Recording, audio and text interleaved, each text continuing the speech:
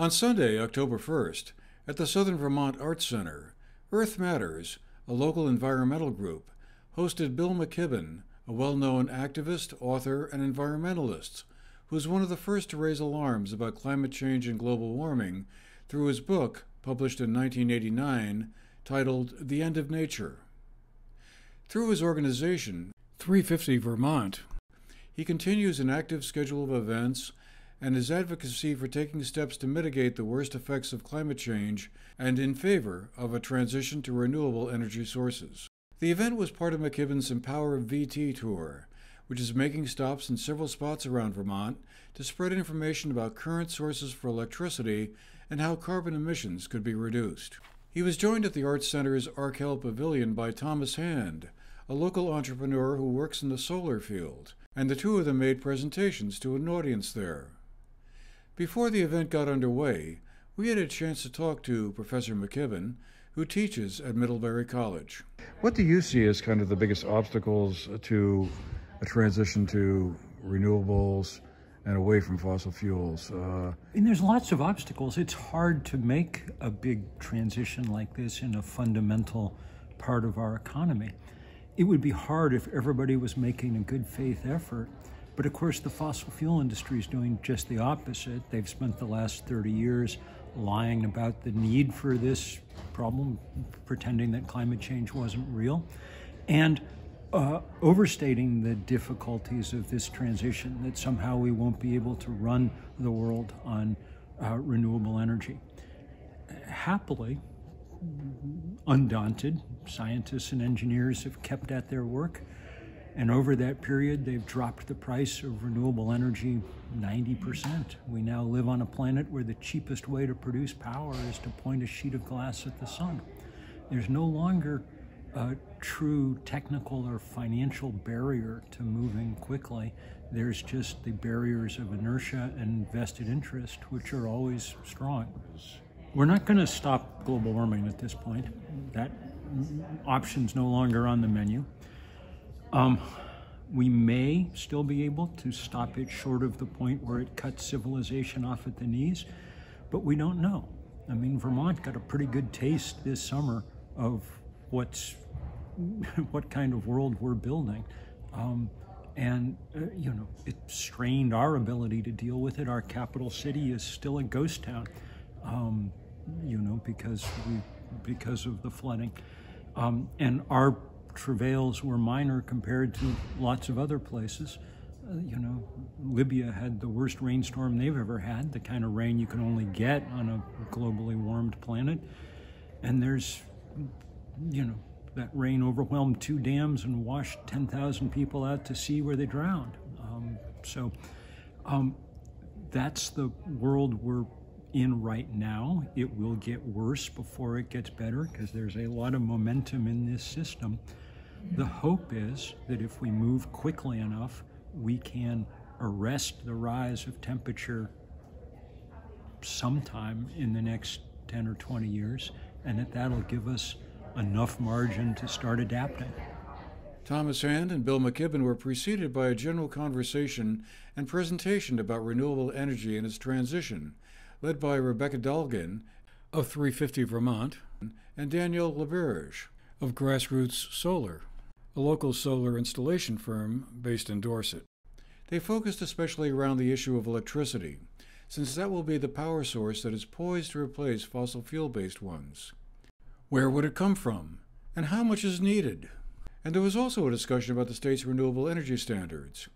Under current law, the Renewable Energy Standard, or RES, says that just 75% of our electricity needs to come from renewables like wind, solar, and hydropower by 2032.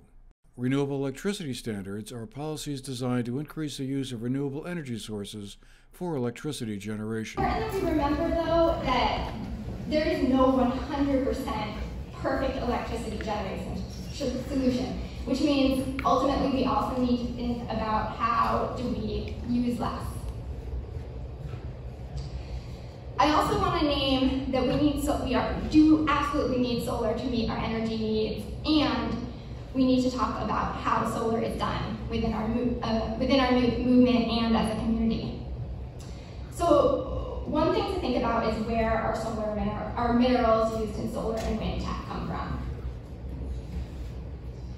So NIMBY is the uh, acronym for not in my backyard, right? That's a great point. The question is what we do want to see and also you know, if we are not seeing it in our backyard, then it's being produced in someone else's backyard. We're exporting that energy burden. So we need a powerful and even more vocal yes in my backyard um, counter movement um, so that you actually see the forms of your energy production and that we really celebrate those and find you know, the energy independence we're getting from those sources being close at hand and produced in our neighborhoods, like finding that beautiful, finding what's beautiful about it. Thomas Hand followed them with a wide ranging talk, which included a discussion of the difficulties of getting renewable energy projects like wind and solar moving. Uh, I want to talk a little bit about uh, what it means to be a developer because it goes to these questions of siting, how do we build it, where do we put it, that sort of thing.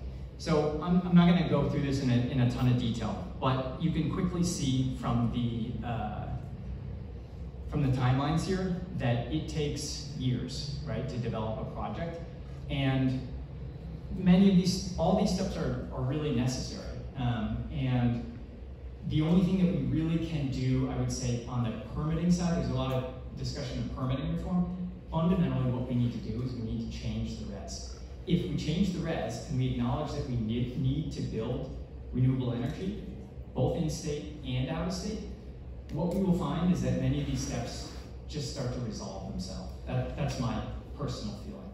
And then it was a turn of Bill McKibben, who encouraged those in attendance to continue the struggle and to keep the urgency of moving forward as quickly as possible before a tipping point is reached that is too hard to reverse. We've just come through on this planet the hottest summer by far that we have ever had. Beginning in June, scientists that I've known for years started calling me saying, look, the numbers are getting really weird here. June and July, we had temperature readings around the Earth. The globally average temperature was the hottest that we've ever recorded. Our records go back about 200 years, but we have good proxy records ice cores and things that take that record back much further. It's very clear that in June and July, the temperatures were higher on this planet than they've been in at least 125,000 years, which means that no human society that we would recognize has ever lived through anything like this. It's continuing. September is going to be more anomalous compared to all the Septembers in the past than June, July, and August were. We're going to go past that 1.5 degrees Celsius mark, at least temporarily, probably in November. And as El Nino continues to ramp up, we're going to see even higher values. We know what this does. We see it around the world. And finally, we met up with Thomas Hand outside the Arkell Pavilion for his takeaways from the event. The first step is acknowledging that we need to build renewable energy. The second step is acknowledging that Vermonters really need to do it themselves. Not entirely themselves. It doesn't have to be only in state or just Vermonters, but if you want to be able to turn on the lights and drive your car and heat your house with electricity, then Vermont needs to build renewable energy and it needs to build at least a significant portion of it in state because otherwise you're just asking somebody else to solve your problem for you. And, and while the other New England states are, are good neighbors, I would say, the idea that we can just expect them to do their share and our share, uh, that doesn't strike me as fair or, or, the right way forward. So I really think the first step um, is acknowledging that we need to build it and that we need to build a, a significant portion in state. Um, and then I think once you acknowledge that Vermonters are pretty good at getting things done, I don't think building it's all that difficult. I think deciding to build it is the hard part. For the GNAT TV News Project, I'm Andrew McKeever.